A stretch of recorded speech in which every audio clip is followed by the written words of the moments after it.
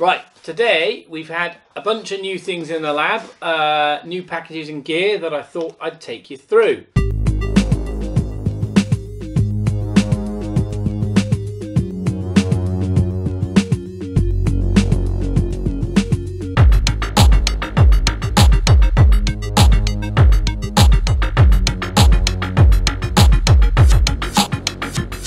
Okay, so the first one, John, and this is my uh, my son John. I think you've seen him in previous videos, play testing some things for me. So John, do you want to get this one open? You just need to pull it, so you don't need any scissors for it. Um, so this is the internet button, and this one was actually given to me by a friend to try and do something with. Um, perhaps build a robot around it, um, and perhaps build some, yeah, some No, interesting lessons around it. bit. So if you that's how you open it, you've got to unscrew that. So this is kind of a little bit like the ESP or the Node MCU, but it's a bit pricier. You've got a chip in the middle there. You've got a bunch of stuff on the back. John's showing. you can look through that, can you? Is that cool? So I think they've covered some of the holes there, which are possibly where uh, some of these pins were already in use, or maybe they're just handy feet. Um, so you've got some I/O pins on the bottom. You've got a bunch of buttons built in, uh, and I'm not sure is it a beeper. Um, so it plugs in via USB. It also has Wi-Fi. You can actually program it from once I think it's set up with the Wi-Fi from your browser with a visual programming language based on Blockly, which looks a lot like Scratch. And uh, this one, the idea is it's quite easy for children and potentially for teachers or for parents to play with too. You set it up with your Wi Fi. So we'll try and get that set up later and see if we can at least get it connecting with some sensors. Obviously, with buttons of its own. And I think there's also a LED ring of its own in there as well. Then we've already got sensors and things to try stuff out. Uh, comes with its own little USB cable as well. So the next thing, I've already had this open and used it in my last video. I've now got myself a lapel mic. So hopefully the lapel mic will mean that the audio on those videos will be much better. I'm using the shotgun mic again for this one. Uh, but, uh, well, when I've got two of us, I'm not sure the lapel mic's going to make for much. So uh, you'll see this. It's, a, it's an active microphone, so it takes a battery as well. And uh, so far, I'm very pleased with the result. It's probably the best microphone result I've had yet.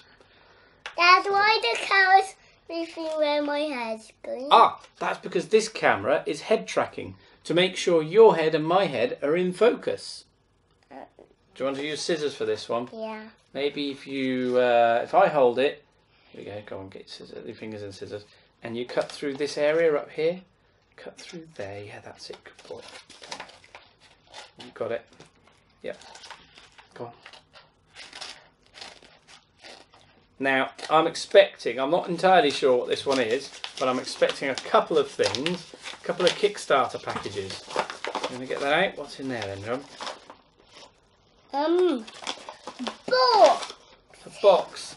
If you look at the front of the box, this says chip, C H I P. Yes. So uh, this, I got this uh, Kickstarter um, a while ago, so this has just arrived.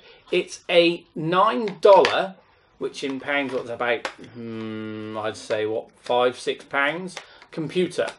Now this I bought before the Pi Zero, but I think it's still pretty awesome and pretty cool. It's I believe it's a little bit more geared with its GPIO at Arduino-like applications. Um, let's just have a look at what we've got inside. So I'll get in there with these scissors. And what does it say on the back? Um, oh, okay, no, just lots of legal. Right, I'm not going to read that. Okay, so we've got what looks like uh, AV, so audio and video. So we've got two audio channels and a video channel coming out the back there from a four pin output. That's kind of interesting. I should be able to connect it to the TV with that. And let's get the. And I blow up though. Dad. it's not going to blow up. I, I'm not going to make the TV blow up, don't worry. Right, so we've got this out of its box. So there's a little plastic cover etched with the uh, logo down there. Okay, and so there's a little plastic base there, which is nice, so then there's no contact made from the pins below. So you can see you've got what's probably the main core under there, uh, what looks like a Wi-Fi section there. You've got GPIO pins here, and a really nice touch is on the GPIO pins. It's got the pin names printed sideways on all of those GPIO connectors.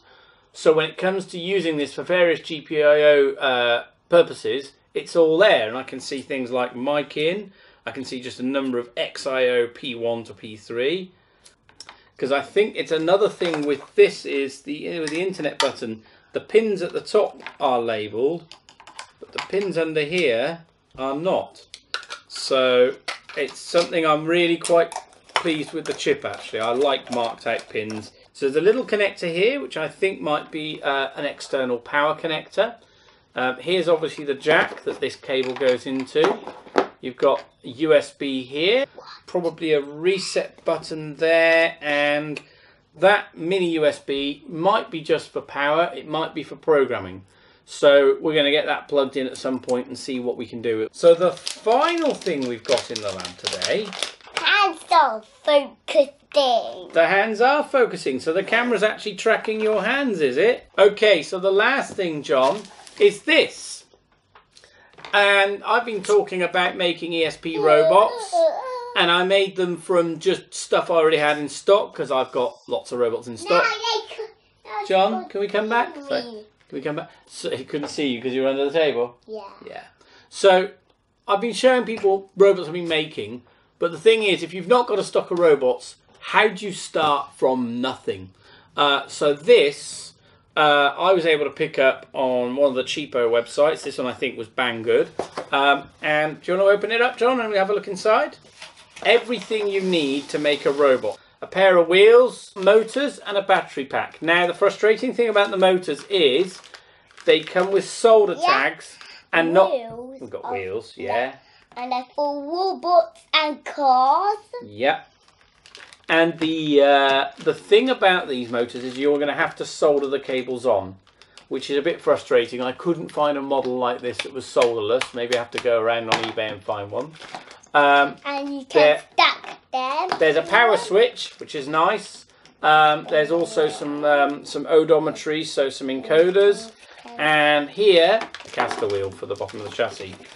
So you've got here the chassis. So there's a simple one layer chassis robot.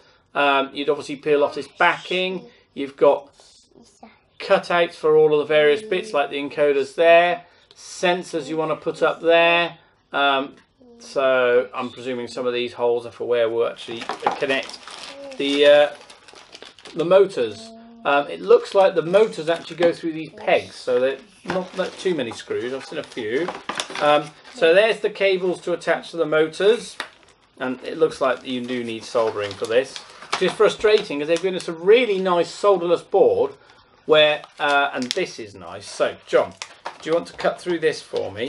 Yeah. Yeah, you cut through there nice and carefully. Oh, cut through just below. Oh, not quite. right, so inside this anti-static bag, we've got a really nice board. Um, and I couldn't yet find this board on its own, only as part of this kit. But I suppose if you're building a ESP-based robot rover from scratch, you're going to want this kit with this board. Um, so Yeah, you've There's got two wheels. and there's two wheels. In fact, there's three wheels, but the third wheel is here on this caster. Yeah. Yeah. So this board here, you've got a standard node MCU board, which you've seen before with the E ESP8266, mounted on a motor controller. Uh, and I'll see if I can get the ESP off. It's a bit stiff. There's also a big fat power button there. And that's got control for four motors, not just two. Yeah. So that's really nice. Okay, there we go. So under where the ESP was mounted, you can see there's the motor trip chip there and it's got a little marking down here which shows you which side the antenna of the ESP will end up so you're not going to end up putting it in the wrong way. All of the I.O. broken out here and that I.O. is broken out in such a way first it's perfect for servos because it's going to be a servo style connector an SPI bus connector there There's just a voltage and ground there. The UART connector, one of those FTDI type cables, screw terminals for the motor connectors. So even if I wasn't building this robot, this board is nice to have. We'll have to try it out later and see how it really works. So I'll do a video where I build this robot up and make it move. Yeah, You'll see all of these it. things in the lab in upcoming videos and we'll spend a bit more time with each one of them. I suppose the only real choice is which to do first. They're all looking like great fun. This robot, no, this, The uh, camera hold on. saw my foot. The camera saw your foot, did it? Aha. So, oh, hold on. I don't want to leave the wheels out. Won't be able to build a robot without the wheels. Um, and you'll see that in my, uh, at least the videos where I haven't got uh, little helpers, uh, I'll be using the lapel mic instead of the shotgun, and we'll see, I think, far better audio with far less background noise. John, do you want to play with bubble wrap and pop the, pop the bubbles? Thank you very much for listening uh, and for watching. If you liked it, give me a thumbs up. If you thought this was fun, please subscribe. If you know someone who loves this kind of electronics and robots kind of thing, share it with them. Let them know. Um, you know that uh, there's going to be far more of this, and as you can see, we're going to play with all of these goodies um, throughout. So, okay, good night. Goodbye. I just pulling the bubble up.